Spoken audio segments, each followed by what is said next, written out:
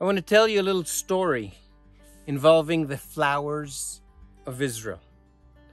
And one, I mean, three flowers that are very, very similar are called the anemone, which we're seeing here, buttercup, and the poppy. And there's a fourth one that is also the same colors. It's different, but that is the tulip. So I want to tell you a little story, a fable.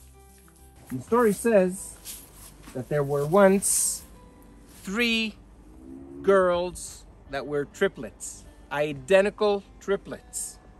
One was called Buttercup, one is called Anemone, and one is called Poppy. And the prince, Tulip, he decided he wanted to throw a big party. And the girls were invited. And dad got special uh, cloth and gave to all three daughters so that they could sew their own dress. And each one got into their room and was there day and night, day and night sewing. And after a while, they opened the doors and all came out with identical looking dresses. The father saw that and realized this is a terrible, terrible situation. And they started crying, How can I go to the party wearing exactly the same dresses as my sisters? And so, dad gave them a little bit of extra money, and each one went and did some different trims. So the anemone, anemone took a very big uh, necklace of pearls, which is white, and wore it around her neck.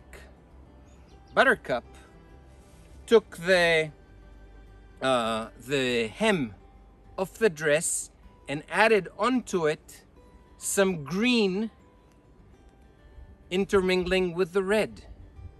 And Poppy went and bought out some huge black earrings which she wore and that way they ended up looking different. So you could see the the necklace of pearls of the anemone. When we look at the buttercup we see that there are leaves wrapping the flower right underneath it underneath the petals green leaves.